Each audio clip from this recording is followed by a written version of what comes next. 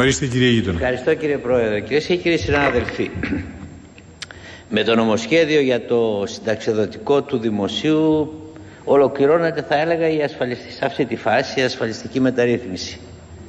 Μια μεταρρύθμιση αναγκαία προκειμένου να αποφύγουμε την κατάρρευση του συστήματος εκεί πήγαινε και για να μπουν οι βάσεις για ένα νέο σύστημα βιώσιμο χωρίς τις εξαιρέσεις για να μην πω τη μεγάλη κουβέντα πιο δίκαιο να πω τουλάχιστον ένα νέο σύστημα σε νέες βάσεις χωρίς τις εξαιρέσεις τα προνόμια και τις ανισότητες αυτού που υπήρχε. Αναγκαία μεν μεταρρύθμιση κύριε Υπουργέ αλλά και επώδυνη εν πολλής λόγω της βίας προσαρμογής που γίνεται σε ορισμένες περιπτώσεις. Με τις ρυθμίσεις συγκεκριμένα εναρμονίζονται οι κανόνες στο δημόσιο κανόνες και οι όροι συνταξιοδότησης στο δημόσιο και στον ιδιωτικό τομέα κατά κάποιο τρόπο ενοποιείται το σύστημα λογικό και δίκαιο εξομοιώνονται επίσης τα ηλικιακά όρια ανδρών και γυναικών με βάση την απόφαση του, ε, του Δικαστηρίου των Ευρωπαϊκών Κοινοτήτων. Τα περιοριστώ σε δύο κατά βάση επισημάνσεις. Πρώτον, η εναρμόνιση των συστημάτων κύριε Υπουργέ καταρχήν είναι προς σωστή κατεύθυνση ως αλλαγή.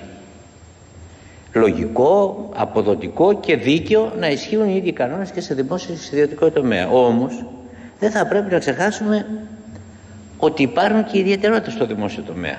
Θα φέρω ένα παράδειγμα. Όσον αφορά τις συντάξιμες αποδοχές.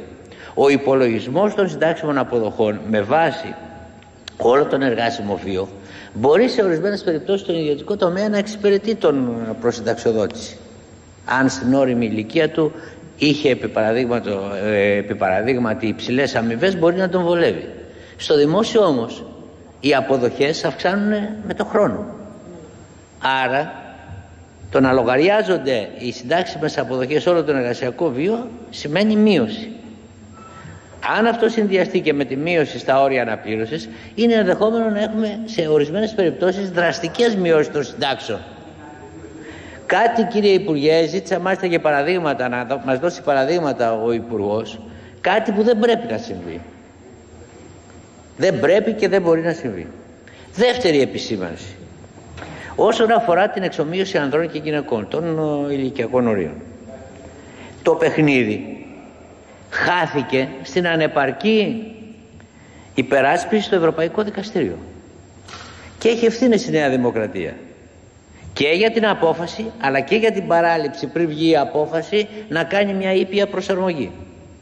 Και λυπάμαι δεν θα αναφερόμουν σε αυτό. Δεν μ' αρέσει η παρθαντολογία αλλά άκουσα και εδώ στην αίθουσα και στην Επιτροπή μια υποκριτική κριτική εναντίον της κυβέρνησης της σημερινής ε, πραγματικά ε, συναισθανθείτε τις ευθύνες σας.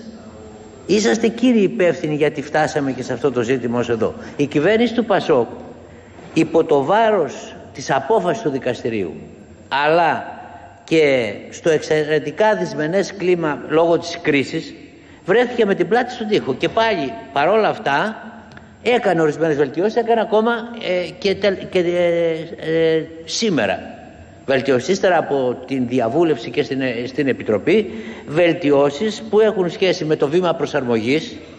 Το 5-5-5 έγινε 2, 3 και 10 και σε σχέση με, την, με πλασματικά χρόνια για το παιδί.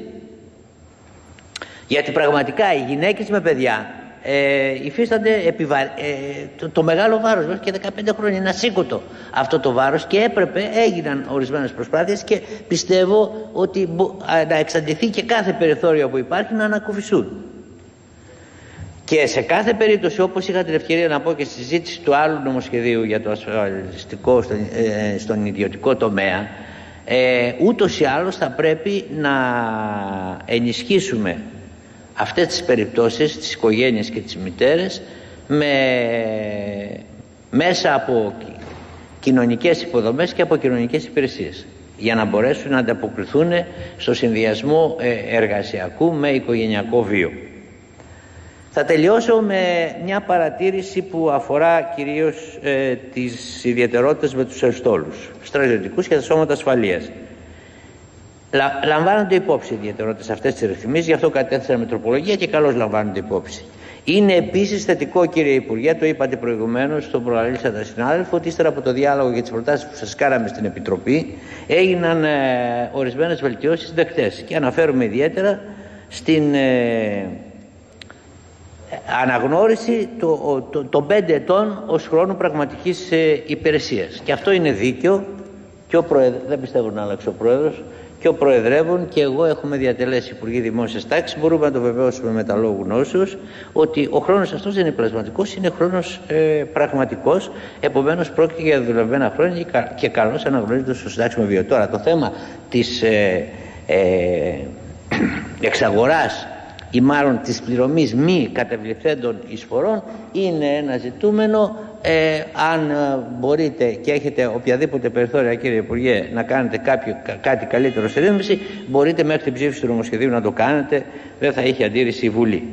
Στο ελάχιστον τουλάχιστον ή στο ελάχιστον δυνατόν. Έτσι, στο Συμβολικά. Να, βλέπετε, πέσατε σε δύο, να, δύο, δύο πρώην υπουργού δημόσιας τάξης. Να, να υπενθυμίσω ότι αναγνωρίζω δεν ακούγεστε. Να, αναγνωρίσω, να, ναι. να τονίσω ότι αναγνωρίζονται 1500 ημέρες εργασίας και πληρώνονται μόνο 200, 260 ημέρες επί της αποζημίωσης που παίρνουν. Εντάξει, και νομίζω ότι αυτό είναι... Να εξαντλήσετε, να εξαντλήσετε το μάξιμου των δυνατοτήτων Αυτή ήταν και παρότριση του, του, ήταν και παρότριση, κύριε Υπουργέ, του Πρωθυπουργού προχθές προς τους Υπουργούς να εξαντλήσουν κάθε περιθώριο. Κύριε Πρόεδρε, στο ένα λεπτό που έχω, ε, ναι. Τελειώνω λέγοντας ότι ε, στο Πασόκ έπεσε το βάρος για αυτή την ασφαλιστική μεταρρύθμιση. Το είπα και προχθές. Βάρος το λέω γιατί είναι μια μεγάλη κοινωνική παρέμβαση καθώς επηρεάζει προγραμματισμούς ζωής.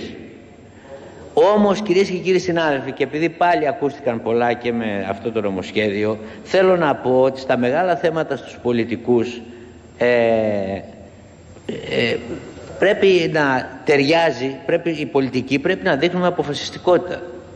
Δεν έχουν θέση στα μεγάλα θέματα ούτε ενδιασμοί ούτε δισταγμοί. Και πολύ περισσότερο, κυρίες και κύριοι συνάδελφοι, δεν έχουν θέση διχασμοί. Γιατί πρόκειται για μια εθνική προσπάθεια που πρέπει να μας ενώνει. Γιατί ένα βιώσιμο ασφαλιστικό σύστημα εγγυημένο από το κράτος, εξορθολογισμένο και αποτελεσματικό δεν είναι ένας απλά κομματικός στόχος. Είναι ένας συλλογικός στόχος, ένας κοινός στόχος. Και όλοι πρέπει να αναλάβουμε τις ευθύνες μας και να βάλουμε πλάτη να επιτευχθεί. Δεν αρκεί η Νέα Δημοκρατία και ο αρχηγός της και το πρωί το είπε να λέει ότι πρέπει να ξεφύγουμε από το μνημόνιο. Το έχω ξαναπεί. Για να ξεφύγουμε από το μνημόνιο και εφόσον το πιστεύουμε αυτό και να ξεφύγουμε από το σημερινό τούνελ θα πρέπει όλοι να βάλουμε πλάτη. Η, αλλαγή στο ασφαλιστικό λοιπόν είναι ένα εργαλείο και είναι πέρα από τα άλλα είναι και ένα εργαλείο αποκατάστασης της δημοσιονομικής τάξης συνεπώς είναι μέρος της εθνικής επιδίωξης για την ανόρθωση της οικονομίας και την ανάπτυξη. Επιδίωξη που όπως έδειξαν τα πρώτα σημάδια του εξαμήνου τα αισιόδοξα σημάδια είναι εφικτή με συστηματική δουλειά και αυτό το λέω για όσους διαφωνούν θα είναι και η δικαίωση της πολιτικής με την έννοια ότι οι θυσίες του λαού μας θα πιάσουν τόπο εφόσον επιτύχει όλο αυτό το πρόγραμμα και στην επιτυχία του θα πρέπει όλοι να συμβάλλουμε. Ευχαριστώ. Ευχαριστούμε τον κύριο Γείτονα.